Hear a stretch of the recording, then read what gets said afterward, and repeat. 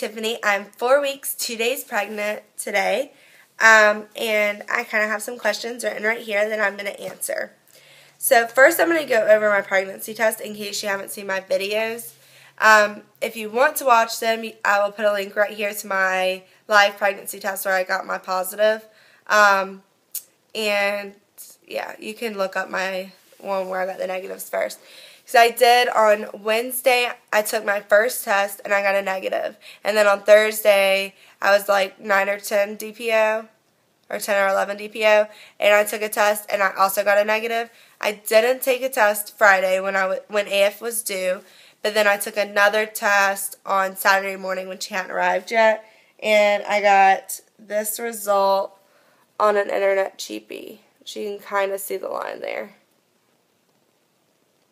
Um, and then I went ahead and dipped a second one. Oops. Which you can't really see, but it's there. And then I ran to the store and I got a Clearblue Digital, which the little pregnant is gone now, but it was there. And this is my first response early result test, which you can definitely see. So that is that. Um, and as for symptoms so far, I had AF-like cramps all day Friday and kind somewhat on Saturday. And then today it's more like just pains every so often, but it's not really cramps. And TMI, my next symptom is um, I've been really wet down there. Like I thought that I had started probably a million times on Friday, running to the bathroom to check and nothing. And I woke up probably three or four times on Friday night thinking I started, and again, nothing. So that's a symptom. And then yesterday, I started getting a sore throat.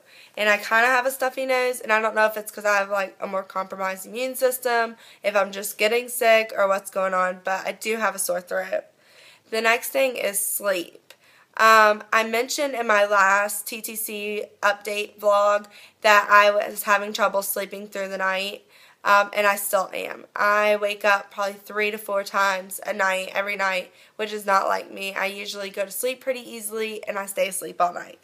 So that's no fun. But the next thing I have is best moment this week, and that would be finding out that I'm pregnant.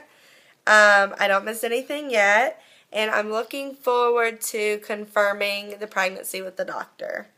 So basically, I have like a list of questions um, to continue answering throughout my pregnancy, and it has like total weight gain, movement, food cravings, anything making you sick, belly button in or out, wedding rings on and off, anything you're looking forward to, and that sort of thing. A lot of them don't apply to me yet, but um, I will answer them in future vlogs.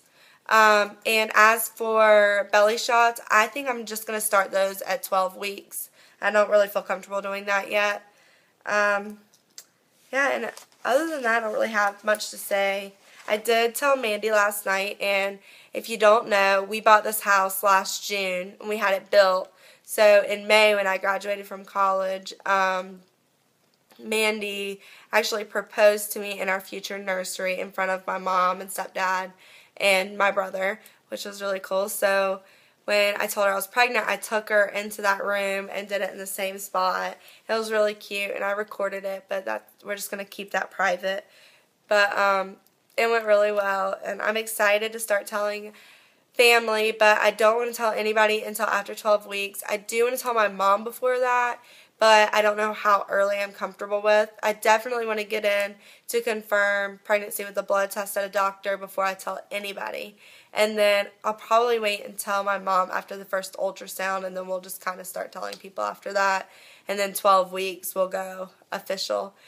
Um, I think we were thinking I'll be around 13 weeks on my birthday, and I think that's when I'll go like Facebook official um, and tell the rest of the world. But I do want to kind of get it out there and let people know that I'm close to before they find out on Facebook.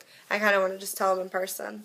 So if you have any ideas of how to tell my mom or Mandy's family or anything like that, please leave in the comments below. I would love to read through those. And I want to do something really cool because I know that she's going to be super excited. She loves babies, and this will be her first grandbaby. So it's exciting. Um, anyways, I don't have much else to say. If you have any suggestions for future vlogs, please leave in the comments below. If you have any questions for me, I'd be happy to answer them.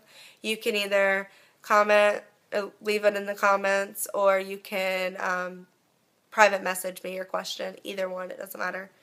So yeah, other than that, I don't really have much else to say, but thank you for watching, and baby dust to everyone, and sticky baby dust to everyone who got their BFPs, and um, I will see you soon. Thanks for watching.